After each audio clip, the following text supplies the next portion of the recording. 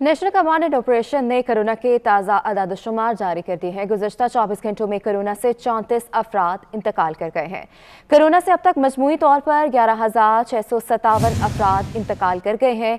एक रोज़ में एक हज़ार पाँच सौ निन्यानवे अफराद में कोरोना की तशखीस हुई है। कोरोना केसेस की तादाद पाँच लाख चवालीस हज़ार आठ सौ तेरह हो गई है।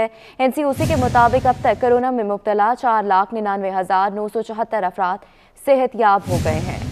तो आपको बता रहे हैं, नेशनल कमांड ऑपरेशन सेंटर ने कोरोना के ताज़ा अदादशुमार जारी कर दिए हैं। गुजशत चौबीस घंटों में कोरोना से चौंतीस अफराद इंतकाल कर गए हैं। कोरोना से अब तक मजमू तौर पर ग्यारह हज़ार छः सौ सतावन अफराद इंतकाल कर गए हैं। एक रोज़ में एक हज़ार पाँच सौ निन्यानवे अफराद में कोरोना की तशखीस हुई है। कोरोना केसेस की तादाद पाँच लाख चवालीस हज़ार आठ सौ तेरह हो गई है, जबकि एन सी ओ सी के मुताबिक अब तक कोरोना में मुबतला चार लाख निन्यानवे हज़ार नौ सौ चौहत्तर अफराद सेहत याब भी हो चुके हैं। नेशनल कमांड ऑपरेशन सेंटर ने कोरोना के ताज़ा दादोशुमार जो है वो जारी कर दिए हैं। गुजशत चौबीस घंटों में कोरोना से चौंतीस अफराद इंतकाल कर गए हैं, जबकि एक रोज़ में एक हज़ार पाँच सौ निन्यानवे अफराद में कोरोना की तशखीस हुई है।